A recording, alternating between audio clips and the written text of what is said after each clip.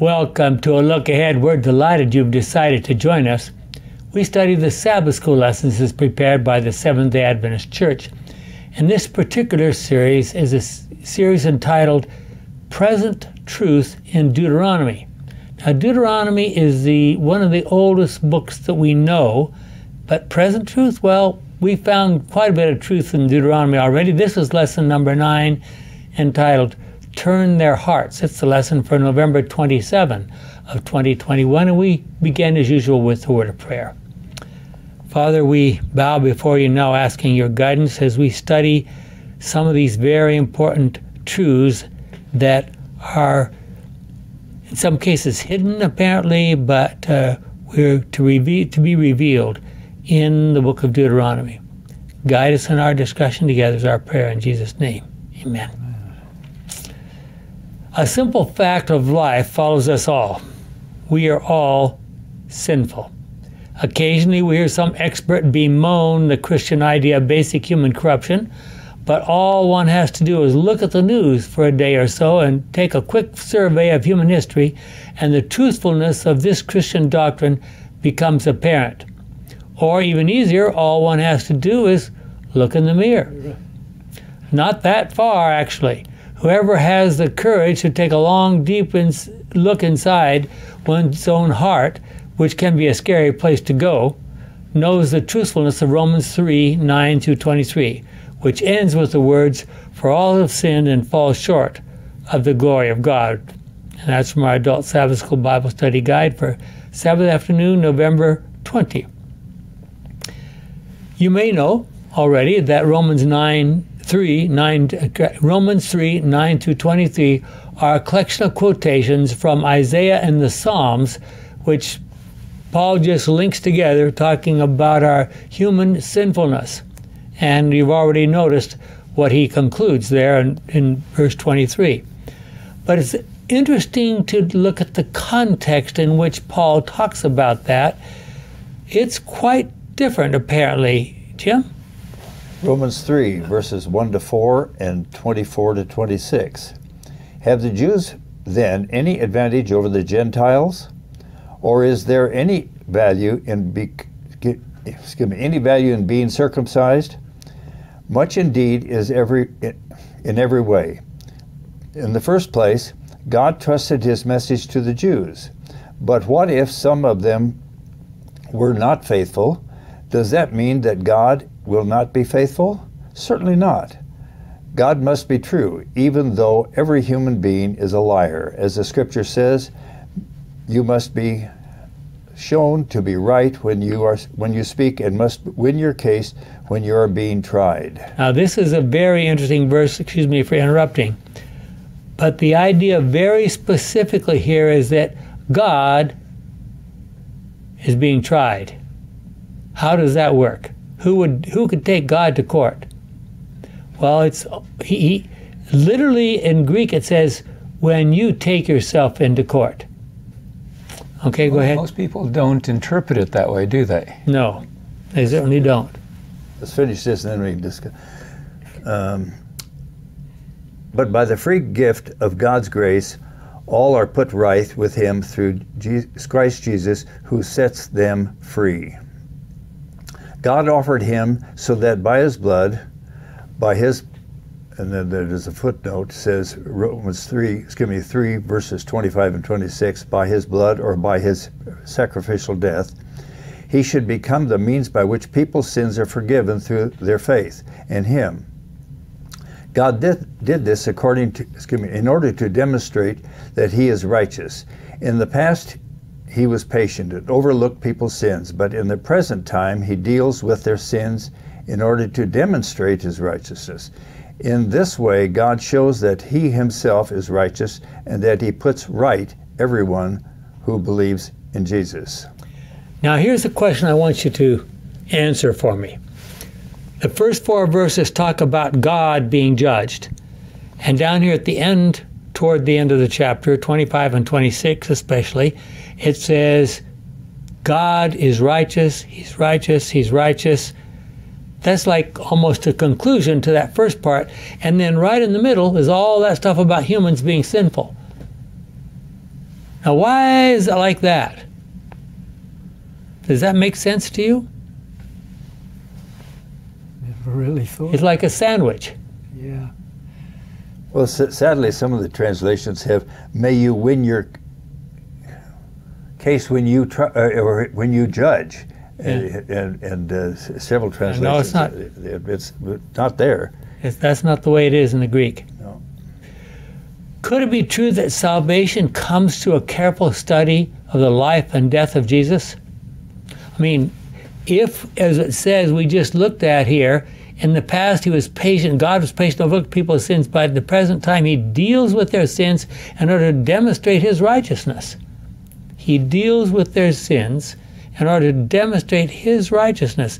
And Romans 8, verse 3 says, he came to deal with sin. And you get to uh, Hebrews, it says he came to save and not to deal with sin. Mm-hmm. in the next, in the when he comes again. Yeah, well, the, the, the second time, yeah. So, what is involved in repentance? Do we really understand it, Carrie? Uh, repentance includes sorrow for sin and a turning away from it. We shall not renounce sin unless we see its sinfulness. Until we turn away from it in heart, there will be no real change in the life. There are many who fail to understand the true nature of repentance. Multitudes sorrow that they have sinned and even make an outward reformation because they fear that their wrongdoing will bring suffering upon themselves. But this is not repentance in the Bible sense. They lament the suffering rather than the sin.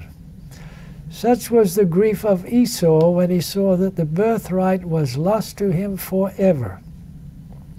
Balaam, terrified by the angel standing in his pathway with drawn sword, acknowledged his guilt lest he should lose his life. But there was no genuine repentance for sin, no conversion of purpose, no abhorrence of evil. Judas Iscariot, after betraying his, it's got him there 24. That means we move, it's going on to page 24. Oh, okay. Lord exclaimed, I have sinned in that I have betrayed the innocent blood. That's from Matthew 7:24. Ellen G. White Steps to Christ, page 23. All languages have idioms. Idiom is a Greek word, actually, which means of itself or something like that. Idioms are short expressions that say one thing, but everyone knows that they mean something quite different. They may not even they may even be almost meaningless uh, by themselves, but we know, oh yeah, that means something else. In Hebrew, there is an expression mi'itin, which literally means "who will give" or "who will make it happen." It is sometimes translated just "oh," or more commonly, "if only," as in verse 29 below. Myra. Deuteronomy 5 22 to 29. These are the commandments the Lord gave to all of you when you were gathered at the mountain. When he spoke with a mighty voice from the fire and from the thick clouds, he gave these commandments to no uh, he gave these commandments and no others. Then he wrote them on two stone tablets and gave them to me. When the whole mountain was on fire and you heard the voice, from the darkness, your leaders and the chiefs of your tribes came to me and said, The Lord our God showed us his greatness and his glory when he when we heard him speak from the fire. And Today Can I interrupt there Yeah. for a second? Try to imagine this in your mind. I keep trying to picture this in my mind. Here's a mountain, a, a granite mountain, basically, we think. Um, and on top of it, it's a couple thousand feet up there. It's not a, a huge high mountain. And here is a fire with smoke coming out of it, apparently, a black and, and fiery and so forth like this. And here comes this thundering voice following the trumpets. I mean, how would you, how would you feel if something like that happened to you? well, it'd be like, like standing in Yosemite Valley and having Yeah. someone from the top of the mountain Having fire and dark Yeah. clouds and the voice. and the voice. Yeah. Wow. Um, the Lord our God showed us his his greatness and his glory when we heard him speak from the fire. Today we have seen that it is possible for a human being to continue to live even though God has spoken to him. But why should we risk death again? What terrible fire will destroy us? We are sure to die if we hear the Lord our God speak again. I, I'm sure it was scary, but uh, Yeah. Well, I mean, just compare that to the other nations around them that were worshiping stones and wood and things like this. I mean, to have something speak to you. A thing like that, Yeah. whoa. But why should we risk death again? That terrible fire will destroy us, and we are sure to die if we hear the Lord our God speak again. As any human being ever lived, has any human being ever lived after hearing the living God speak from a fire? Go back, Moses, and listen to everything that the Lord our God says. Then return and tell us what he said to you. We will listen and obey. Compare Yeah. Exodus 20, 18 to 20. Good luck. Yeah. When the Lord heard this, he said to me, I have heard what these people said, and they are right. If only they would always feel like this. If only they would always honor me and obey my commands, so that everything would go well with them and their descendants forever. And those two expressions, yeah, Yeah, from a Good News Bible. if only. If Those two if only expressions are from that Hebrew expression, mi yitin. here. Here, Hmm? Oh, go ahead. Go ahead. Here is the Lord, the Creator God, the one who made space, time, and matter, the one who spoke our world into existence, the one who breathed into Adam the breath of life, uttering a phrase generally associated with the weaknesses and limitations of humanity. If only. In other words, I can't do anything. I, you know, it's beyond me. But, you know, if only. Which reminds me, I, I like to stop and think about Einstein every once in a while when I read a passage like this.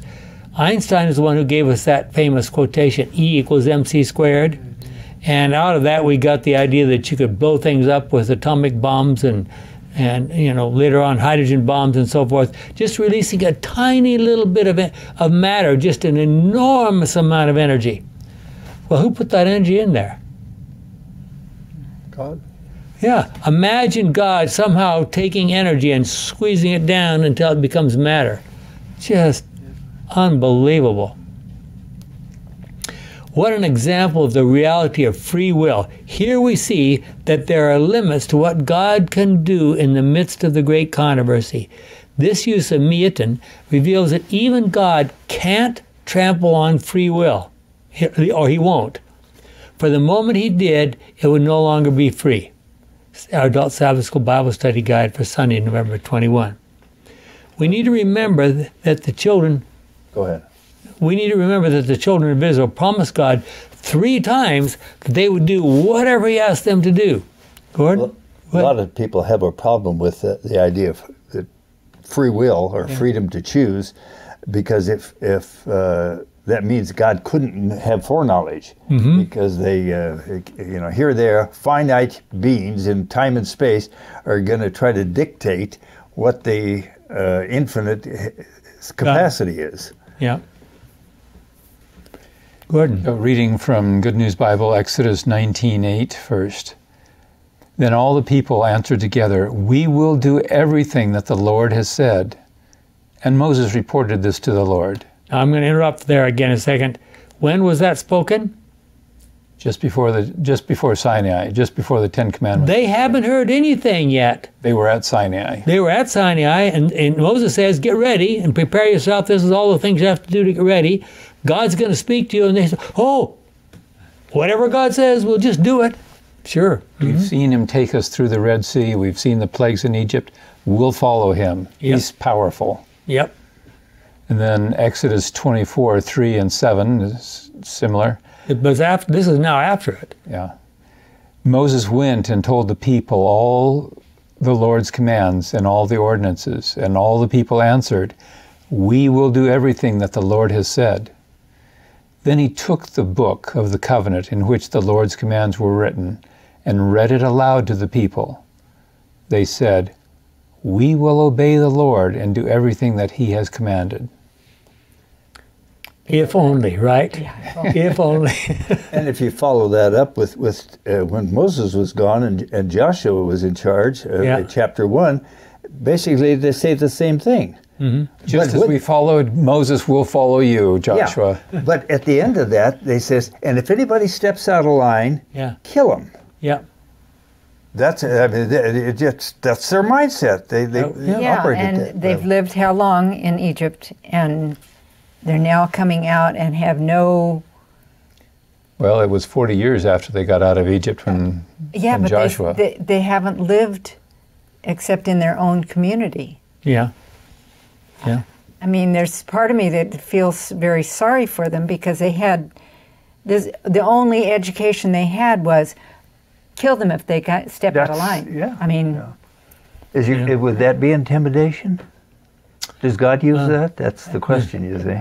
Is it really true that we just th- that just as we are free to sin and turn against God, we're also free to choose to follow Him? What forces on both sides are pressuring us to either follow God or follow Satan?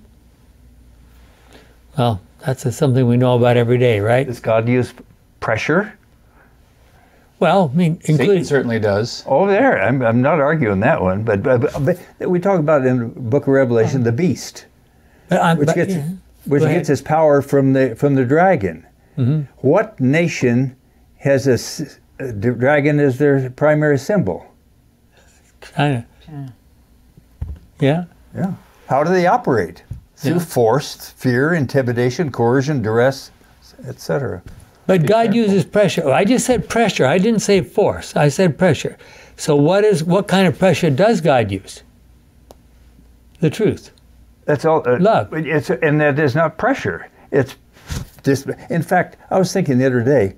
Remember in uh, Samuel, he goes in- and I think it's Samuel eight. He says, uh, you know, the people want a, want a king, uh, and and God says to him, hey, you know, they're they're not rejecting you, Samuel. Man, talk about. Uh, because what did Samuel's kids, uh, were, were, sons were doing, the, the terrible things. And he says, really, they're just rejecting you. My question is, what type of a government was before that time? Well, we had was- the time of the, they were called the judges. But what, uh, they say they're going to have a monarchy. Prior to the monarchy, what did they have? what they had were a group of uh, uh, every single tribe is represented. There was a, a person who rose up, served as a quote judge, um, and usually they, he would get his start or her start because some of them were ladies by leading forth, forth the military and conquering someone who was giving them a lot of trouble and forced back the enemies and then oh wonderful now we're, we're relatively free and so now we can do our thing and the judge keeps track of well and then things deteriorate and they're back to worshiping idols or whatever and then another enemy comes in and back and forth judges two and three it just goes back and forth and back and forth So Circular history. many people would say, well, they, they had a theocracy. well that's It what really was not no. a theocracy because it was supposed to be a theocracy Well, it, it was supposed God was supposed to, as a teacher, is trying to educate his kids. Yeah. But a, a crossy is control. Mm-hmm. The, God control. God doesn't. It, God has never been controlled. The Mm-hmm. peoples. uh, Well, if he if he chose to control, we would be nothing but robots because he, he has ultimate power. yeah. And, and so wh- when the serpent says, "No, you're not going to die," well, past history, did- they've never seen any any intelligent creatures die, and you're going to be like the gods. Knowing good and evil, that's an also a true statement. But how many people say that that the serpent was lying? Yeah, yeah. Some critical scholars do not believe that Moses could have written Deuteronomy because they believe that not even God can predict the future. And Deuteronomy so clearly spells out the future conditions that would happen to the Israelites. But all through the Bible, God demonstrated his capacity to predict the future. Consider especially the prophecies of Daniel and Revelation. I mean, look at that 2,300 years. Critical scholars say that if that is true, that he can predict the future, then we have no free choice.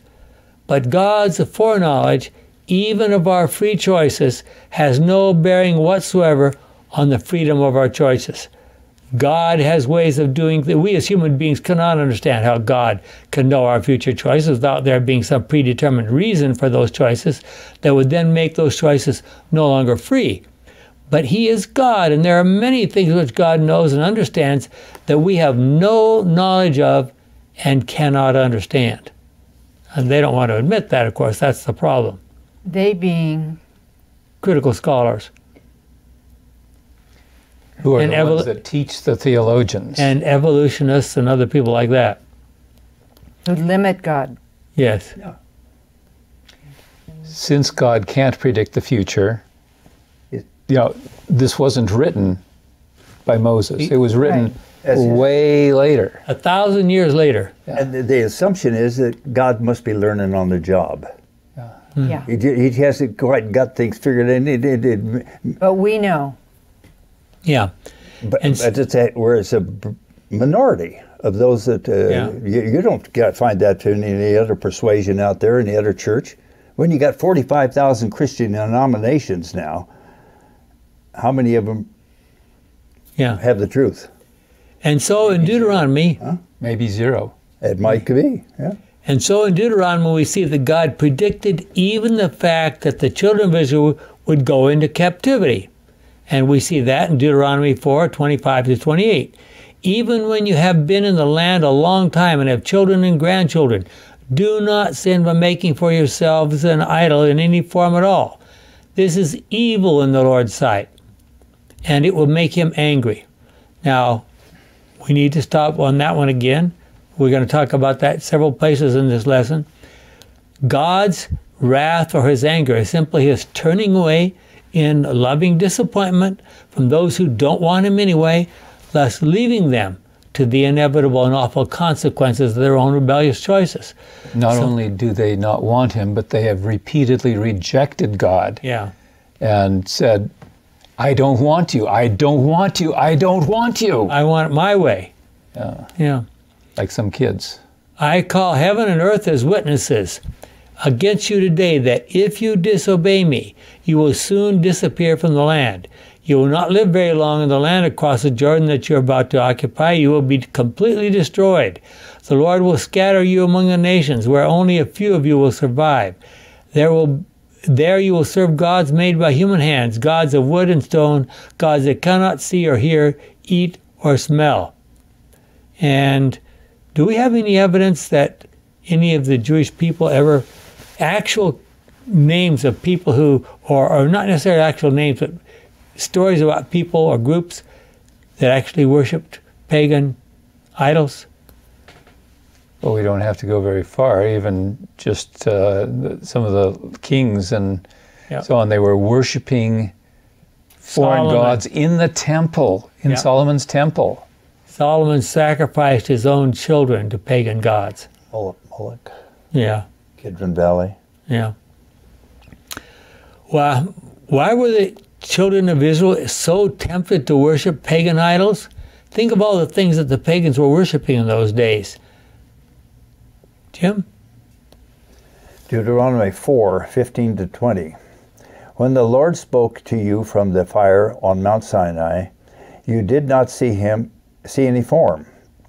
For your good, then For your own good, for your own good, then make certain that you do not sin by making f- for yourselves an idol in any form at, at all, whether you see a woman, whether a man or a woman, animal, bird, reptile, or fish. Do not be tempted to worship and serve what you see in the sky, the sun, the moon, the, and the stars. The Lord your God has given these to all other people for them to worship. That's a good, worth it- some discussion there. Yeah, we'll get to that. But you are the but you are the people he rescued from Egypt. That blazing furnace he brought you out to make you his own people as you are today. Good News Bible. These words seem very strange to some us, us with our ethical thinking today. Was it really true that God wanted some people in the world to worship the sun, the moon, and the stars? even animals, birds, reptiles, or fish. Can you think? Do you remember the name of the fish god? Dagon. Dagon. That's right. The the um, Philistines worshipped the fish god. Because they were sea people. Yeah. What this is suggesting is that those people in those other lands in the days of Moses had chosen to worship those things as their gods. And things that the gods do in ancient times, they thought, okay, there's only one power up there and some kind of maybe a collective collection of powers, but they all work together. So they must have, you know, divided up the territory. Well, you go to Deuteronomy 32, 8 and 9 addresses that right after with, with uh, Noah, and they mm-hmm. divided the nations according to the sons of God. Mm-hmm. If you, if you, you have, have that. That's trans- not Deuteronomy. No, uh, yeah, Deuteronomy 32, 8 and 9. And not Noah. No, this was after Noah. This is a long time at, after at, Noah. At the time of Noah. But uh, Deuteronomy 32, 8 and 9, when God separated the nations, he did it according to the sons of God. Uh, that, and and, that his, and the Jacob was his special portion. Okay. Right.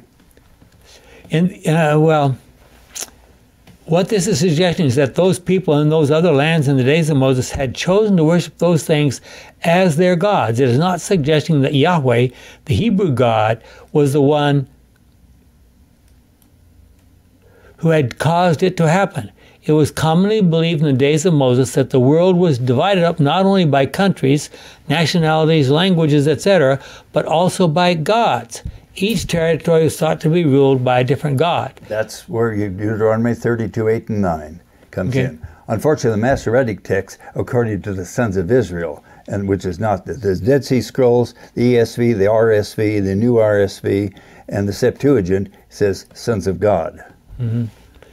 What is amazing in all of this is that God repeatedly said that if the children of Israel would finally come back to Him, even after going into exile, He would receive them and bless them once again. Carrie? reading from Deuteronomy chapter 4, verses 29 through 31. There you will look for the Lord your God, and if you search for him with all your heart, you will find him. When you are in trouble and all those things happen to you, then you will finally turn to the Lord and obey Him. He is a merciful God.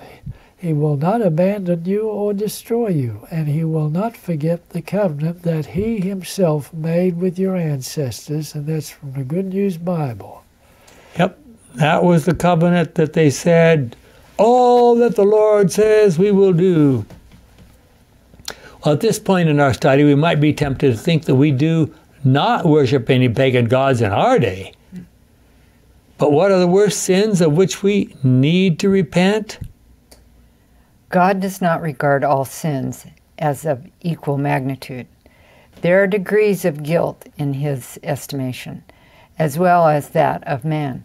But however trifling this or that wrong act may seem to the, in the eyes of man, no sin is small in the sight of God. Man's judgment is, is partial, imperfect, but God estimates all things as they really are. The drunkard is despised and is told that his sin will exclude him from heaven, while pride, selfishness, and covetousness too often go unrebuked. But these are sins that are especially offensive to God for they are contrary to the benevolence of his character, to that unselfish love which is the very atmosphere of the unfallen universe. I must have misheard that because it sounded like my sins of pride, selfishness, and covetousness are worse than, than the drunkard. And that's, that's exactly what it says. Uh oh. He who falls into some of the grosser sins may feel a sense of his shame and poverty and his need of the grace of Christ, but pride feels no need, and so it closes the heart against Christ and the infinite blessings he came to give.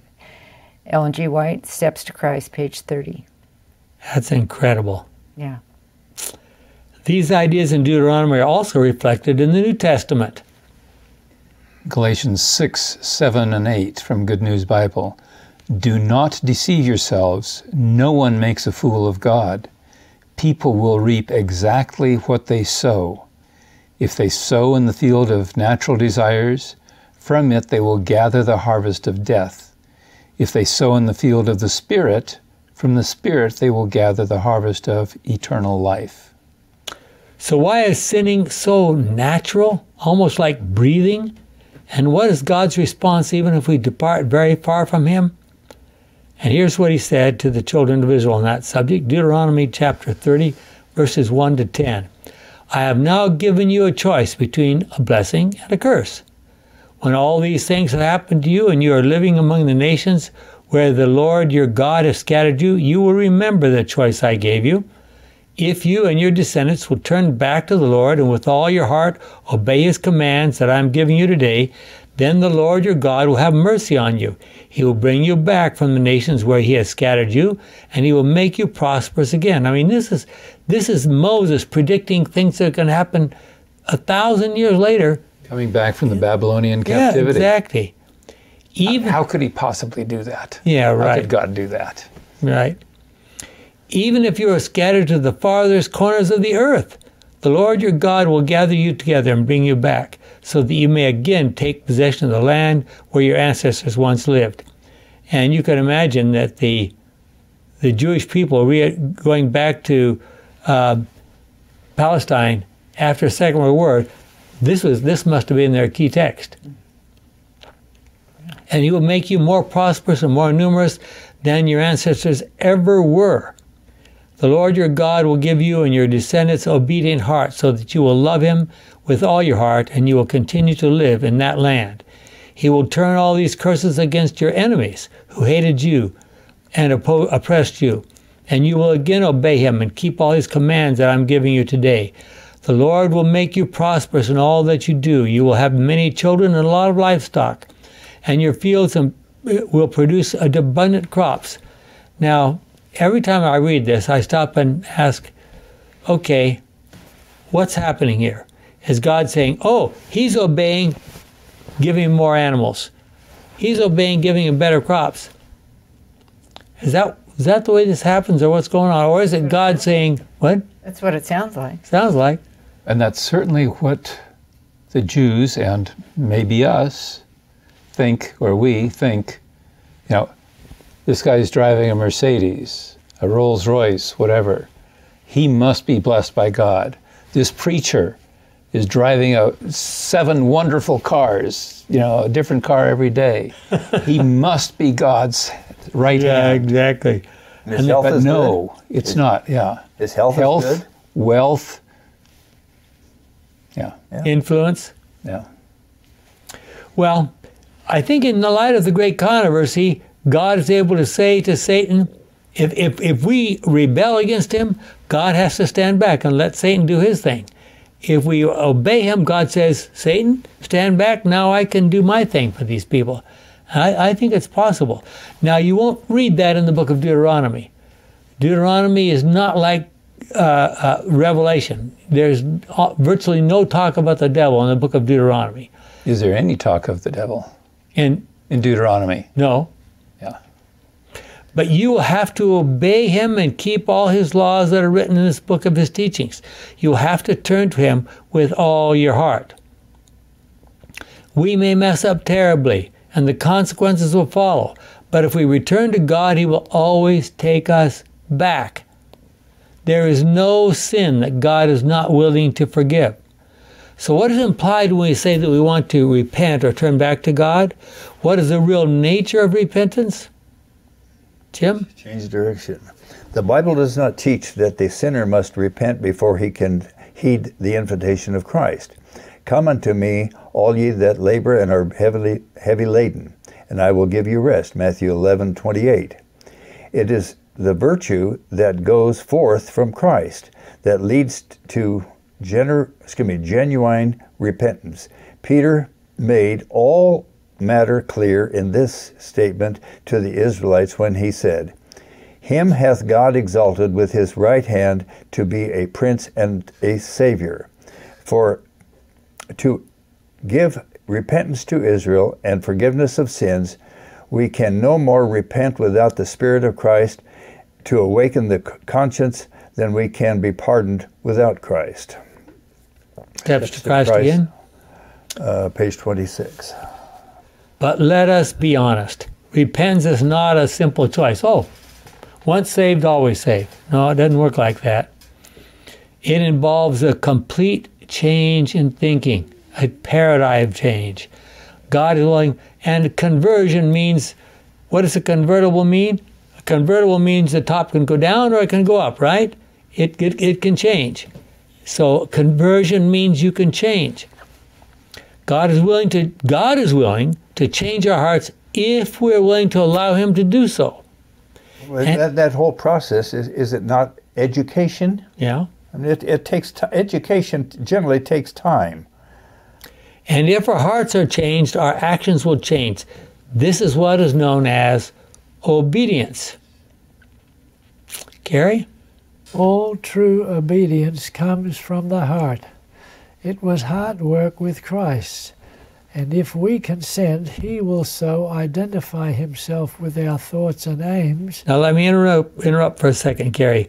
Who's going to do what? He will so identify Himself with our thoughts and aims. In other words, if we give Him an opportunity to operate in our minds, to think about Him, to Bible study and prayer, and, and allow Him into our lives, what happens? Go on, soul blend. So blend our hearts and minds into conformity to His will, that when obeying Him we shall be but carrying out our own impulses. The will refined and sanctified will find its highest delight, delight rather, in doing His service. When we know God as it is our privilege to know Him, our life will be a life of continual obedience. Through an appreciation of the character of Christ, through communion with God, still will become hateful to us. Sin. Sister White, Desire of Ages, yeah. page six, six, six, yeah, Incredible six, passage. Could you the top of that paragraph that, that, that just, you just read? All true obedience comes from the heart. True obedience comes from the heart. Uh, Jeremiah 17 9. The heart is deceitful above all things and desperately wicked. Yes. You can know it. Okay, so that's why it says, Who can make the change? Only God can make the change. He has to come into our lives and make the change. We can't do it ourselves. That's that's what that's the message here. So sin's supposed to become hateful to us. What if I like to sin? Well, that's the problem. We all like to sin. So that sounds like aversion therapy. Right. The, you the, finally get so sick and tired of living in a, a you know, that, that you, uh, it, it, some people are not don't warm to that idea, but it is not too far off. In the case of the children of Israel, God was willing to take back even those who had lived their entire lives in captivity in Babylon or Assyria. Can you think of a prophet who spent almost his entire life in Babylonian captivity? Someone besides Daniel? Well, Daniel is one. Can you think of any others? Ezekiel. Ezekiel spent most of his time. Zechariah, Haggai, a whole bunch of them. When Peter spoke to the people after the resurrection of Christ on the great day of Pentecost, he made this comment. Acts 5:31. God raised him to his right hand side as leader and savior to give the people of Israel the opportunity to repent and to have their sins forgiven. Good News Bible. Ellen White commented upon the similar situation, commenting upon a similar situation, said, From Patriarchs and Prophets, page 557, the people mourned because their sins had brought suffering upon themselves, but not because they had disobeyed God, dishonored God by transgression of His holy law. True repentance is more than sorrow for sin. It is a resolute turning away from evil, a change, mm-hmm. in other mm-hmm. words. Exactly. What difference is there between being sorry for the consequences of our sins and being sorry for the sin itself? Why is this distinction so important? Both John the Baptist and Jesus, when they began their ministries, called for people to repent and turn away from their sins. So it's not if I get away with it, you know, that kind of reinforces it that you know it's okay, but hmm. that doesn't mean it's not a sin, huh? Yeah, doesn't. Matthew 3 1 to 8. At, at that time, John the Baptist came to the desert of Judea and started preaching, Turn away from your sins, he said, because the kingdom of heaven is near. John was the man the prophet Isaiah uh, was talking about when he said, Someone is shouting in the desert, Prepare a road for the Lord, make a straight path for him to travel. John's clothes were made of camel's hair. He a leather he wore a leather belt round his waist. You know, and I you know, I keep thinking of crazy things when I read these passages. How do you suppose someone like John living out in the desert could collect camel's hair to make clothes out of? Anyway, his food was locusts Someone and gave it to him. maybe possible. Traded some of his locusts and honey. Yeah. Okay. Locusts, there's two options here. Uh, locusts are one of the acceptable things that the Bible says you can eat.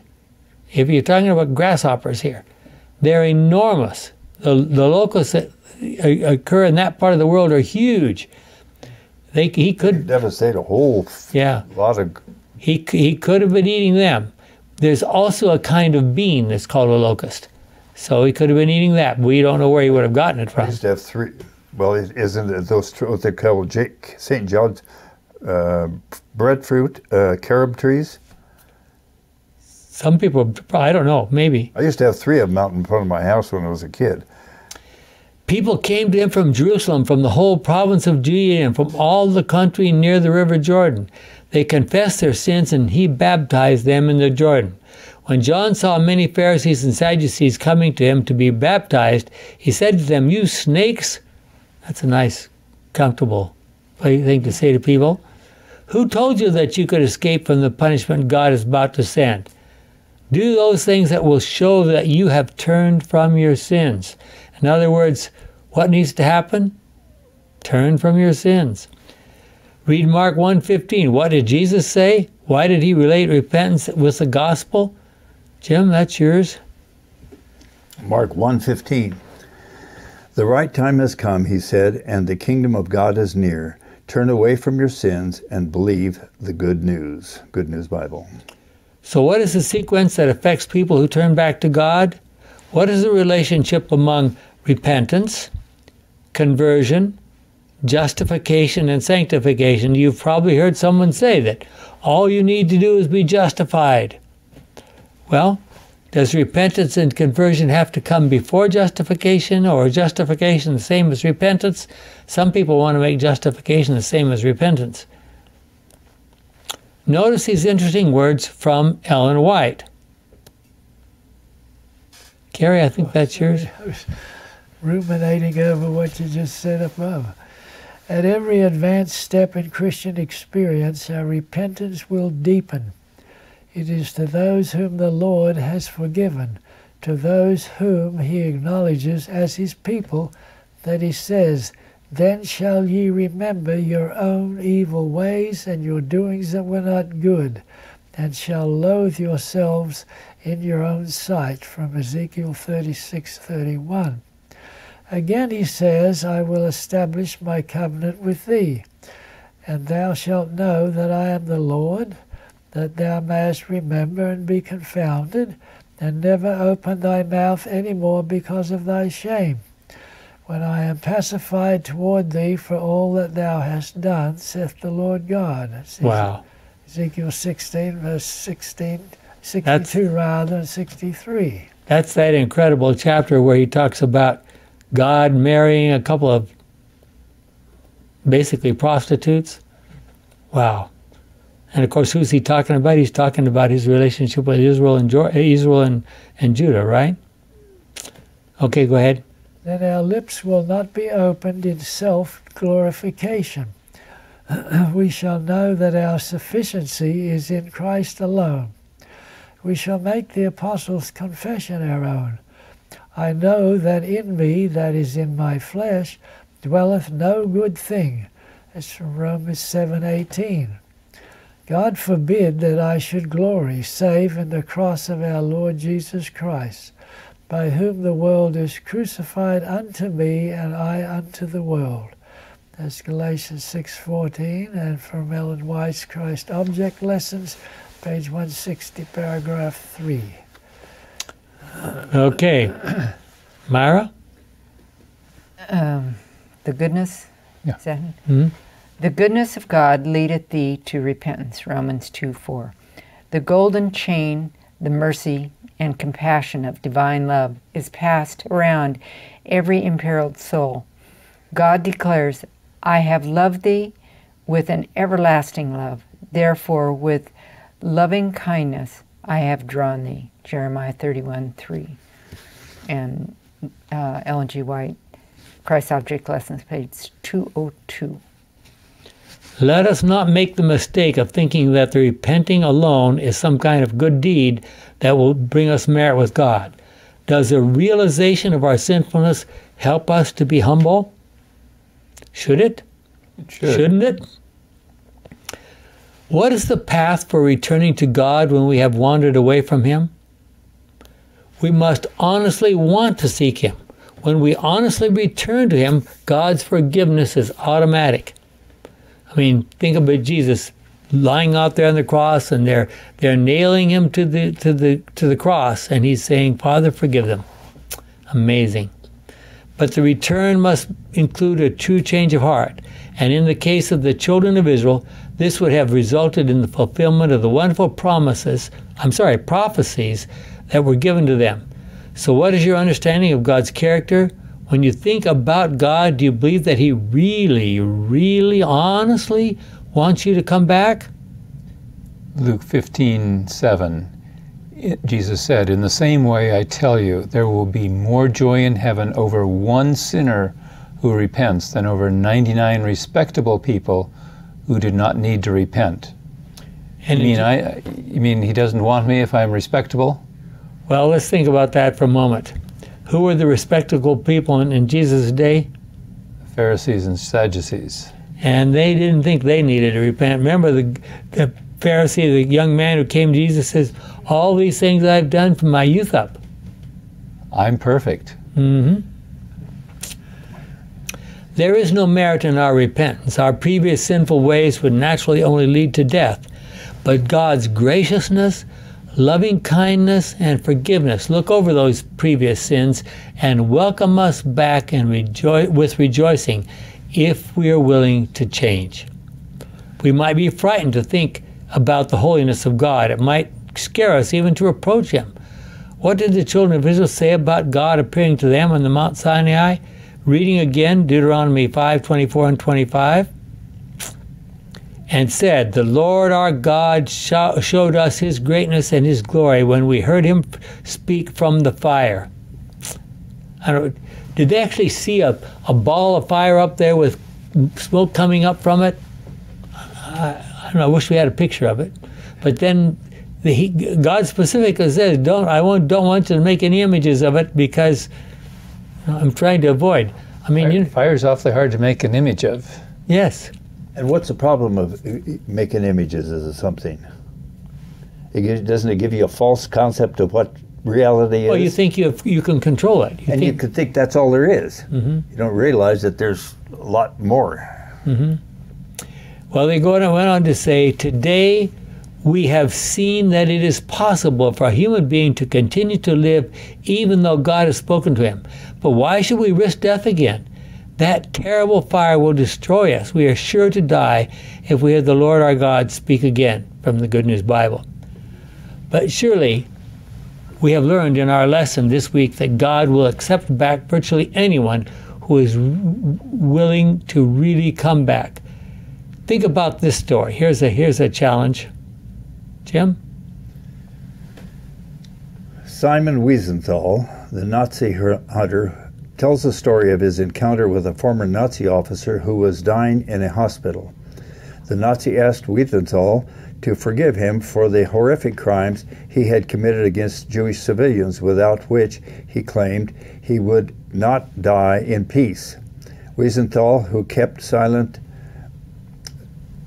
throughout the encounter, walked away without responding to the Nazis' request. Wiesenthal concludes the story with a question What would you have done, Simon Wiesenthal? Okay, and the book The Sunflower, so forth, is quoted in the Adventist Bible Study Guide, Teacher's Sabbath School Bible Study Guide, page 121. Wow. You know, I have been twice to Auschwitz in Poland. It's an absolutely incredible place. And the response you get from the people who work there, supposedly the, the German soldiers, we were just doing what we were told. We were just doing what we were told, We were following orders. following orders. What, Hmm. what happens now with and some of the stuff we've been hearing about recently? Well, that's what's happening in China. And how would you have responded in that situation? Interestingly, the Hebrew root shuv combines in itself both requirements to turn from evil and to turn back to God, who will be found again on the old paths. Remember, that's an expression from the old from the New Old Testament, saying, "Come back to the old paths." This parallel movement implies a profound insight. The best way to resist evil is to do good. The best way to resist evil is what? Do good. Do good. Just as the children of Israel You've found. said, you've said many times you can't uh, just get Can't- rid of evil. You can't have to stamp out crowd evil. it out Yep. You have to with crowd it. good. Just as the children of Israel found it impossible to transform themselves, God recognized that it is true also of us. Carrie, you want to take the next one there? Yes, Deuteronomy chapter 10, verse 16. So then, from now on, be obedient to the Lord and stop being stubborn. Wow. The Good News Bible. I mean, what would, how would you, what would you say if, if God said, if you heard God saying to you, stop being stubborn? Maybe you should pay attention. Wow. Wake you up. Listen up. Uh, He Jeremiah. wasn't talking to me, was he? Yeah. you aren't stubborn. Thank you, dear. Jeremiah 4:22. The Lord says, "My people are stupid. They don't know me. They are like foolish children. They have no understanding. They are experts in doing what is evil, but failures at doing what is good." Good News Bible. Jeremiah 13:23 Can a Nubian change the color of his skin or a leopard remove its spots? Let me interrupt for a second. Where is Nubia? Africa. That's uh, Well, Africa is a big place. Yeah. it's um, below e- it's south of Egypt. South of Egypt, in an area now which would be considered uh, a little bit of, I think, is in Ethiopia, but most of it was in Sudan. And I can tell you, those people are just black as black can be. I mean, if you see somebody that's really black, you better think Nubia. Go ahead. So again from Jeremiah 13:23 Can a Nubian change the color of his skin or a leopard remove its spots? If they could, then you that do nothing but evil could learn to do what is right. I should say, just to add to my comments moment, well, some people say the Nubians are so black that they look blue. You've seen, I mean, anyway, maybe you haven't, but uh, it's their skin is really black. And then Hosea 5, verse 4 the evil that the people have done prevents them from returning to their God. Idolatry has a powerful hold on them, and they do not acknowledge the Lord. Hosea, remember, was addressed to the children of Israel, the northern kingdom of Israel, just maybe five years, ten years before they were completely conquered and just scattered by the Assyrians. And so it's a very sad story. Why is it impossible for sinners to transform themselves? Do we recognize the fact that only God can perform such a procedure? Are we willing to allow Him to do that? When we think very carefully about the life and death of Jesus Christ, and if we agree, God will transform us and give us a desire to be more like Him. To know God is to love Him. So, how do we get transformed? Learn about God. If we really get to know Him, it will change us. Think of your personal experiences. Have you sinned against someone and asked for their forgiveness? Did you need to do it more than once? I mean, how many times do we ask God to forgive us?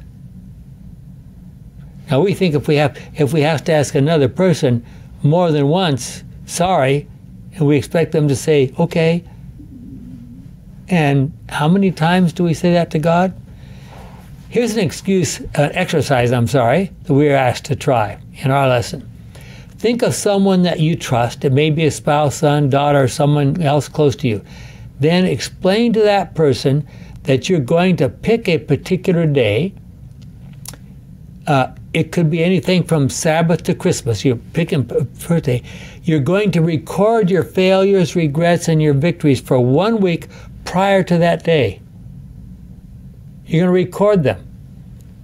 What should we learn from such an experiment? How often do we repeat the same mistakes again and again and again?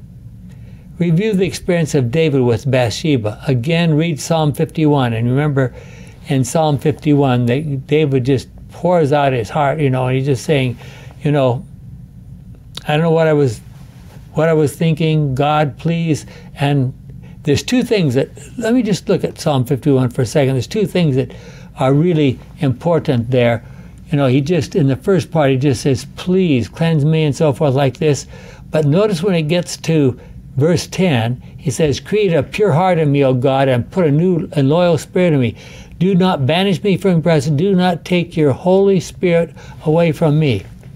And you notice that in most translations it has Holy Spirit with small letters.